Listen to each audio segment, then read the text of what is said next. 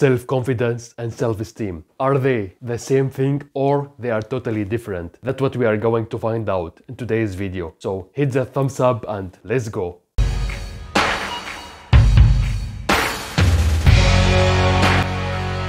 Hello everybody and welcome to my channel. My name is Usama and on my channel we talk about how to better your life and how to get more inspired so that you can achieve more personal growth, joy and fulfillment in your life. Please remember to subscribe to my channel and hit that bell notification button so that you won't miss any new video. I will be making a series of videos on confidence and self-esteem and since it's very important to understand the basics foundations. What is the confidence, self-confidence, and what is the self-esteem?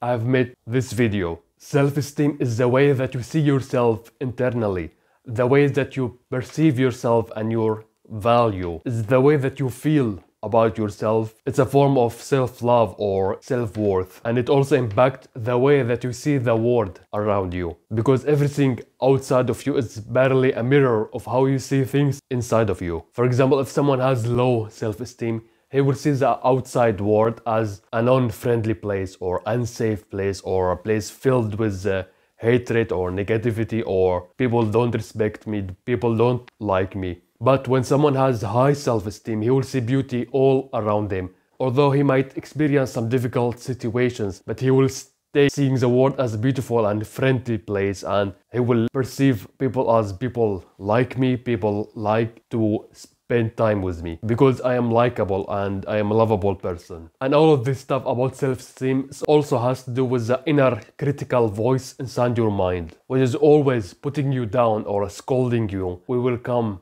how to treat that later in later videos about self-esteem.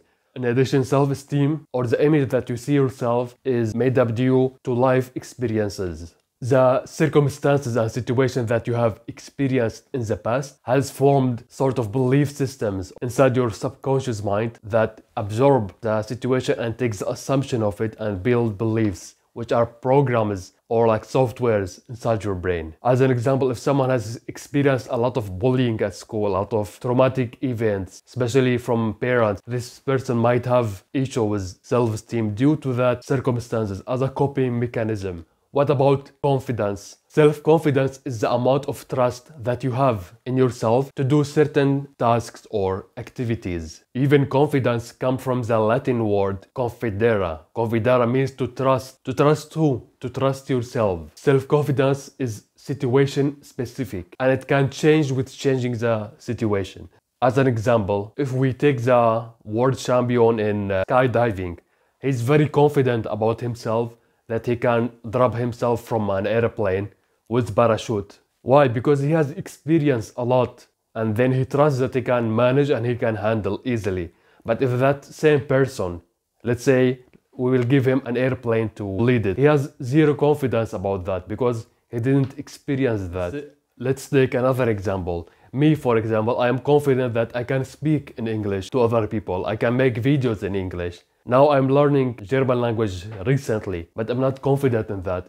I'm not confident that I can make videos in German or I can go and speak fluently without doing mistakes in German language. Why? Because I still don't have the experience. So I'm not confident about myself in speaking German right now, but I'm confident about myself that I can learn it and I can practice it, then I can reach my self-confidence in speaking German. So some people could have a high self-esteem and at the same time low self-confidence and vice versa. For example, maybe someone has low self-esteem, he does not see himself as important person, but at the very same time, he could have high skill in playing guitar, for example, on stages. He could be brilliant.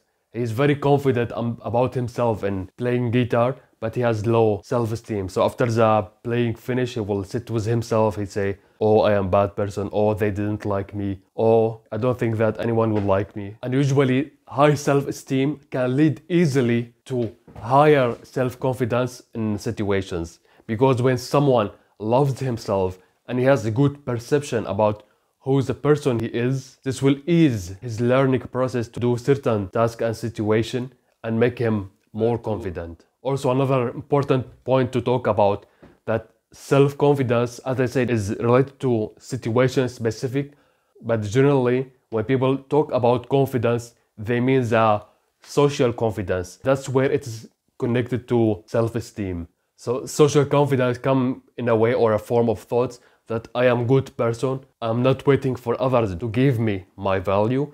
I trust myself that I am a good person and I am loved person. That's where it get connected with self-esteem.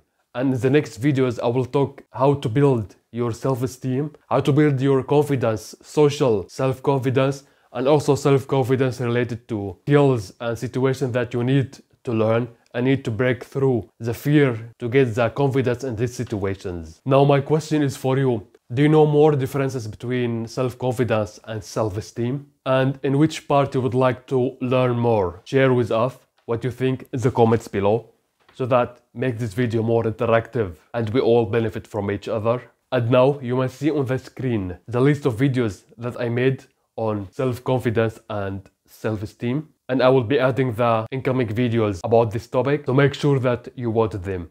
You can click on them, watch and enjoy, and I see you there. Best regards, Usama.